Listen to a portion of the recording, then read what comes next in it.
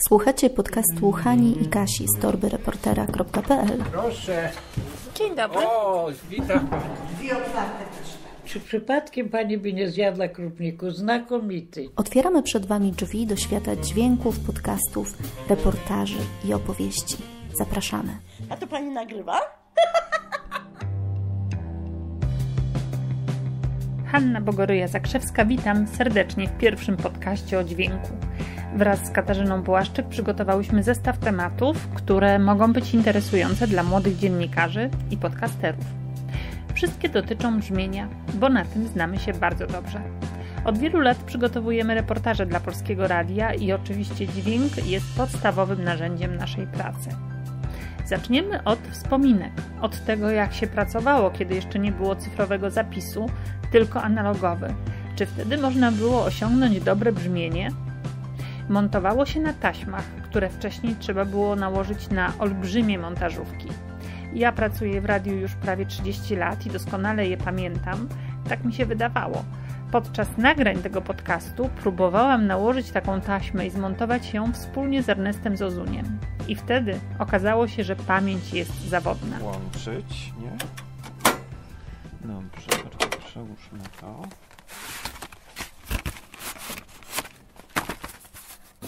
Wiem, że to Poczekaj, bo to jest w ogóle na... O, o, przewinięta. A, to- Ale poczekaj, no to zaraz... No to też się zakładało. Kiedyś czek zakładał to przecież w pół sekundy, dobrze? Dobrze. Tu trzeba było i poczekaj, to się... O, O! Dobra, a puść teraz. poczekaj, a tu w ogóle mamy gdzieś, to się będzie odtwarzało? Będzie. Żal mi Krzysiek, żal mi, że w tak młodym wieku odszedł. Umiesz. No, umiem. Niewiele osób wie, że na Powązkach jest Małgosia jego grup Chodnacka. Mhm. i nie odwiedza Krzysia. No pięknie. Ciekawe, czy ja bym sobie poradziła. Jeszcze się O właśnie, jeszcze ten dźwięk. Ten dźwięk oznacza, że przewijamy taśmę.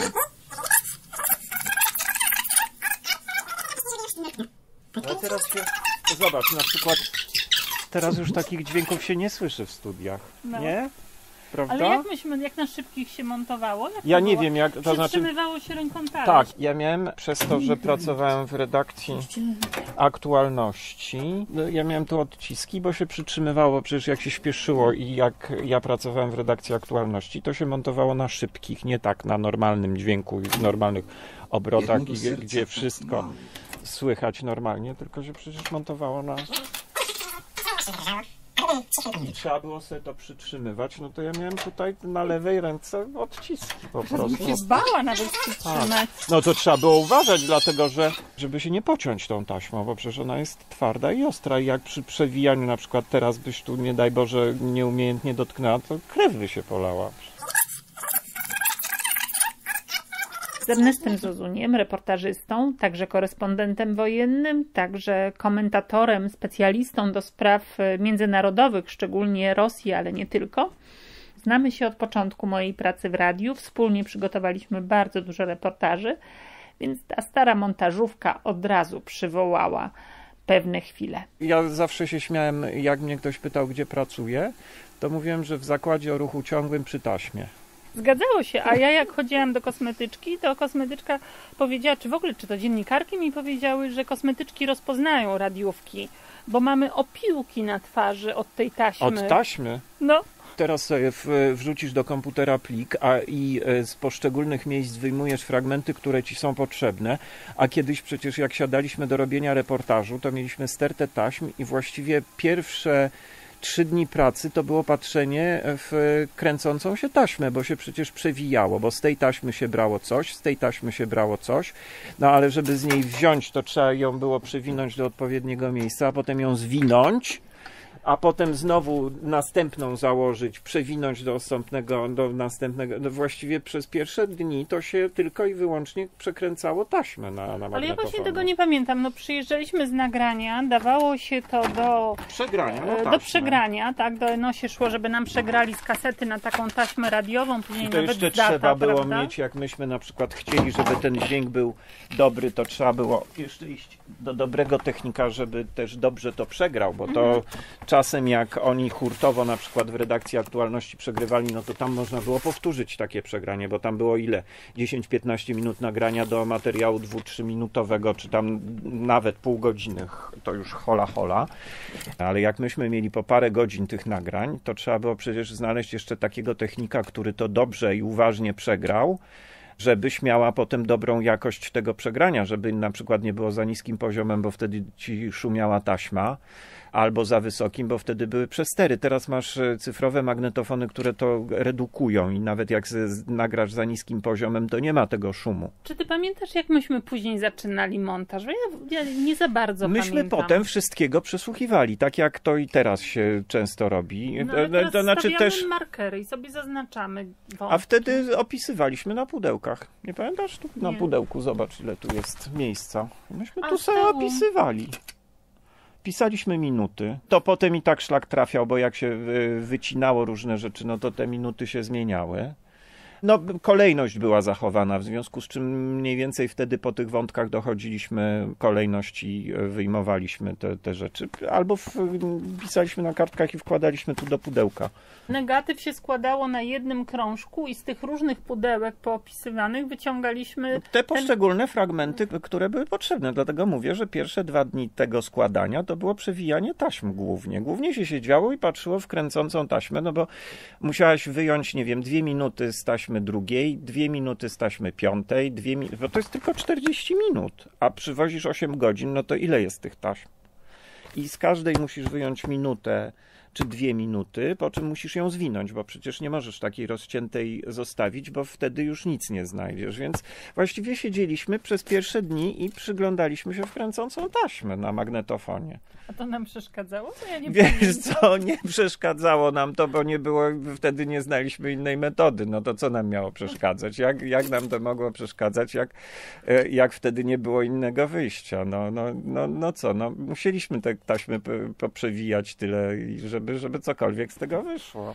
A potem było, jak już przychodziło do tej kosmetyki takiej, żeby to wszystko pięknie brzmiało, to nie wiem, czy pamiętasz, ale siedzieliśmy i mieliśmy na przykład na magnetofonie czy na montażu po, przyklejane pojedynczymi sklejkami oddechy, yki, jakieś to tam, pamiętam. jakieś tam Stuknięcia, jakieś cmoknięcia. Ja pamiętam, jak przylepione takie wisiały kawałki taśmy, było napisane długi oddech, krótki Tak, oddech, albo śmiech. o, o, opisywaliśmy na przykład na drugiej stronie kawałki, żebyśmy mogli w te takie nieskładające się sklejki w jakiś sposób posklejać tymi oddechami, bo to czasem no niestety trzeba tak poprawiać, a teraz masz wszystko w komputerze i wyjmiesz sobie w, w jedną sekundę.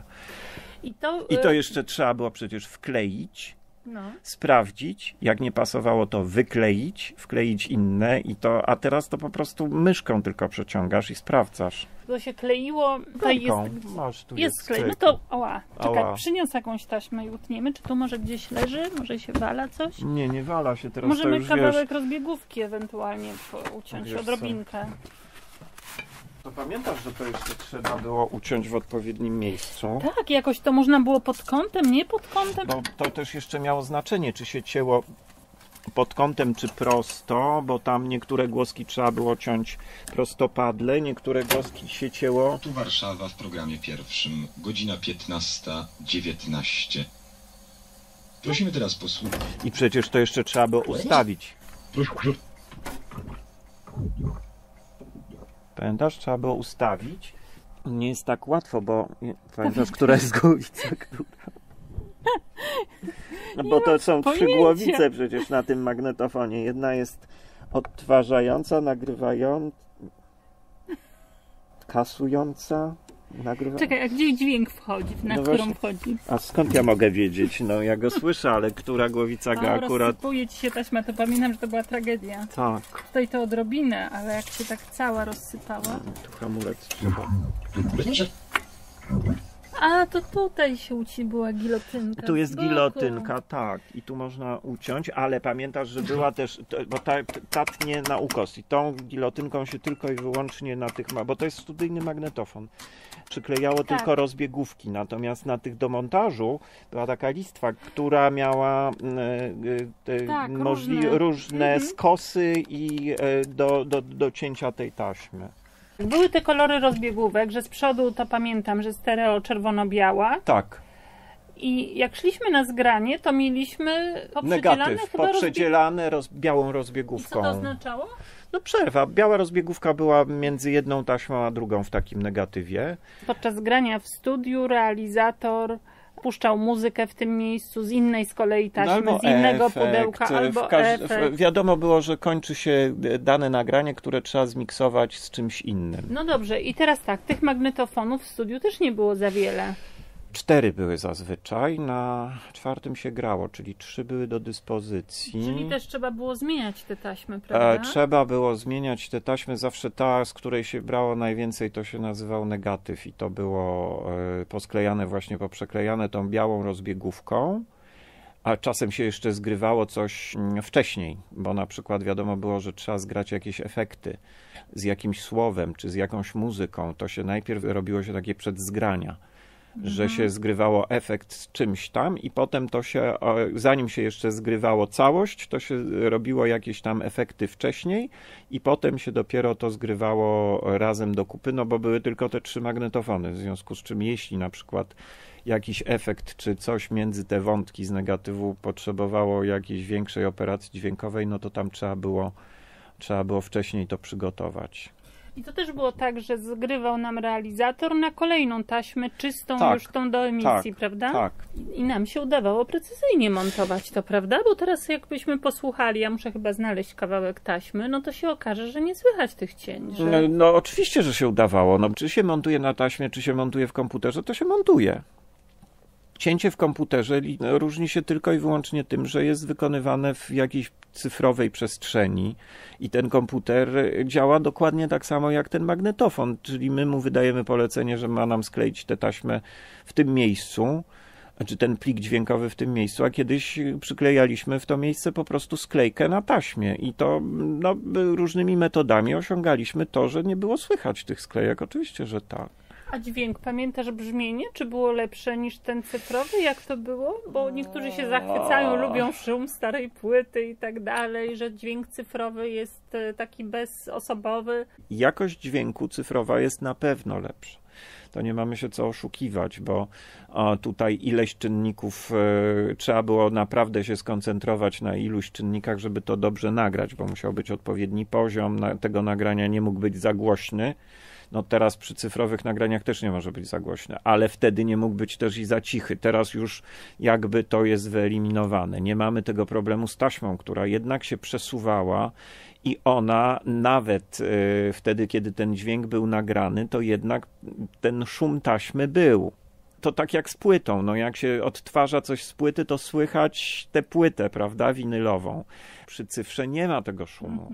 Tym bardziej, że już i mikrofony mamy cyfrowe, i magnetofony mamy cyfrowe, czyli jakby nie ma tego, tego toru analogowego, bo kiedyś w pewnym momencie mieliśmy tak, że mieliśmy śliczne magnetofony cyfrowe i nagrywaliśmy wszystko cyfrowo, a potem trzeba było to przegrać na analogową taśmę jeszcze przez kabel najczęściej, więc ta analogowa technologia no, niosła za sobą pewne nie, niedoskonałości. No to tak jak, e, wiesz, no, no to tak jak swojego czasu, nie wiem, ludzie nagrywali na woskowych wałkach i na owe czasy był to dźwięk bardzo dobry, no ale potem odkryli inne techniki zapisywania tego dźwięku, które były lepsze, które odtwarzały ten dźwięk, odwzorowywały ten dźwięk o wiele lepiej. A jak przechodziliśmy na cyfrę?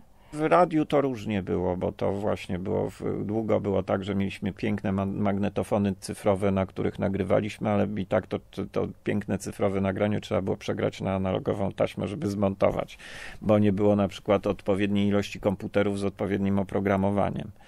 Ja pamiętam, że myśmy w ogóle zaczęli wcześniej próbować. Jeszcze nikt nie myślał o tym, żeby montować cyfrowo czy na komputerze, a myśmy e, jakiś dorwali jeden komputer gdzieś w radiu i zaczęli na nim montować. Wszyscy go omijali dookoła, a myśmy zaczęli montować. On był, to był jakiś przedziwny program, ja już nie pamiętam jak on się nazywał, jaka była technologia tego montażu.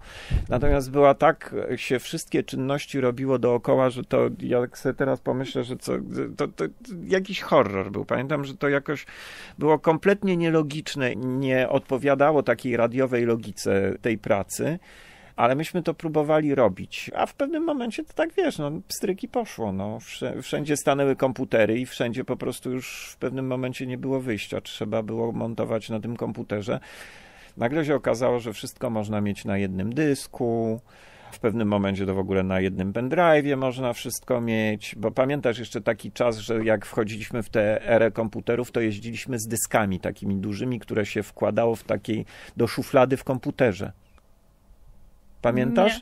Nie, Mieliśmy próbuję dyski wyjmowane, wyjmowane No, dyski z było, komputerów.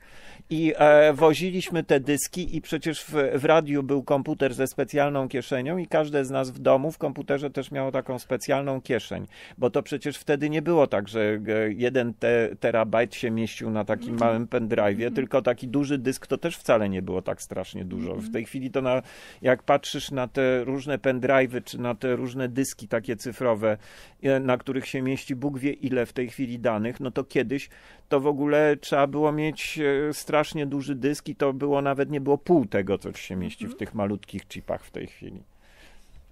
Jeździliśmy z takimi dyskami przecież. Do studia, na zgrania się jeździło z takimi dyskami. Czyli nie tęsknisz za analogowym czasem. Gdyby w tej chwili ktoś mi kazał montować tak, jak montowałem kiedyś, to musiałbym się tego, boję się, uczyć od nowa. No może nie aż tak jak kiedyś długo, troszkę by mi to może krócej zajęło, bo ja zawsze wszystkim powtarzam, że to i tak nie, nieważne na czym montujesz, bo montujesz i tak w głowie, a to czy, czy tniesz taśmę, czy tniesz w komputerze te pliki, to to są już małpie czynności.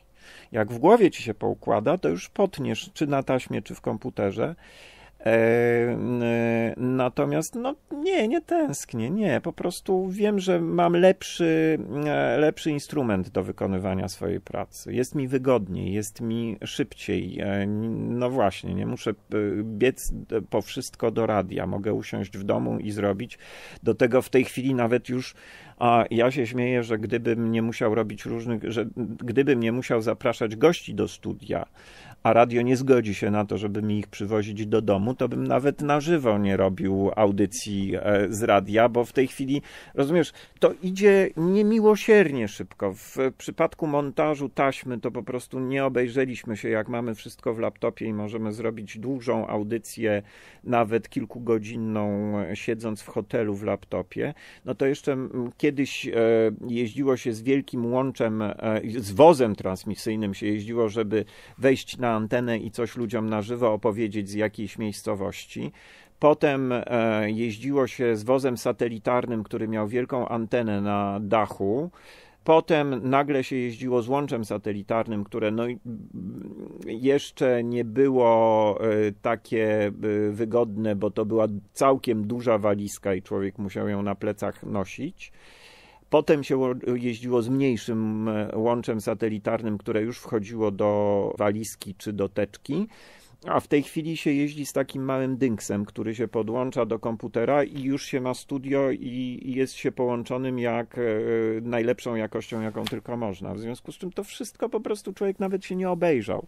Kiedy to się wszystko zmieniło i no to, chyba tak to będzie za chwilę wyglądało, że, że będziemy sobie siedzieli w domu i w radiu będzie ktoś, yy, kto będzie naciskał, nawet nie naciskał guziczka, będzie klikał w komputerze i na przykład wpuszczał Bogoryję Zakrzeską na antenę o tej godzinie, a Zozunia o tej, a Bogoryja Zakrzeska będzie siedziała u siebie w pokoiku w domu, a Zozuń będzie sobie siedział u siebie w, w domu, a poza tym jeszcze nawet będzie można to tak zorganizować, że tę rozmowę, którą w tej chwili odbywamy tutaj siedząc e, w, w radiu, będziemy mogli sobie odbyć każde siedząc na żywo na antenie, odbyć każde siedząc w domu.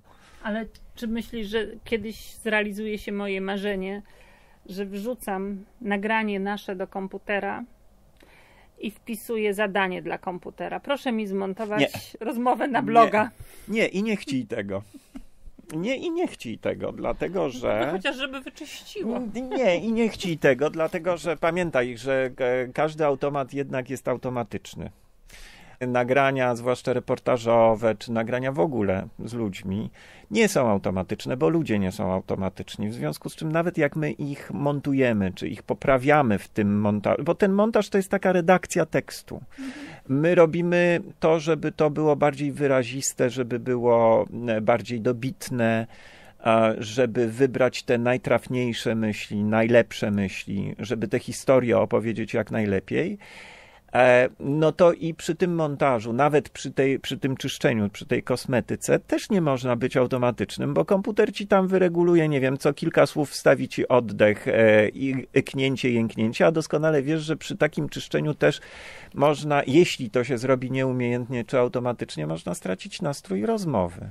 No to prawda, bo pamiętam, że jak robiliśmy nasze śledcze reportaże czy antykorupcyjne, to z upodobaniem zostawialiśmy różne takie błędy potknięcia naszych tak No, zwanych złych, no. czarnych No, charakterów. a jak, to od, a jak to oddawało ich właśnie zakłopotanie, jak to e, odda, pokazywało, że na przykład kłamią, czy zmyślają, czy że starają się coś ukryć, czy że są zakłopotani. Ile razy? No a komputer by ci to automatem, także to nie chciej tego. Nie chciej tego, naprawdę nie chciej tego.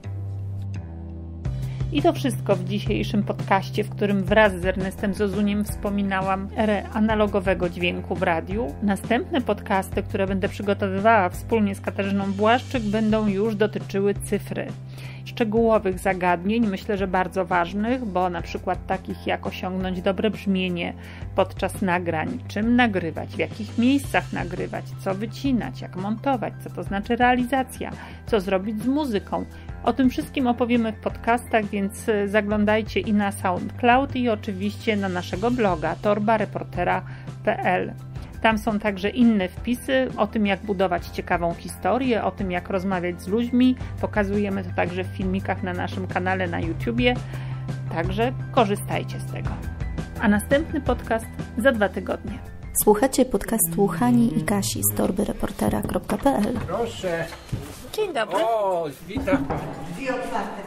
Czy przypadkiem pani by nie zjadła krupniku? Znakomity. Otwieramy przed Wami drzwi do świata dźwięków, podcastów, reportaży i opowieści. Zapraszamy. A to pani nagrywa?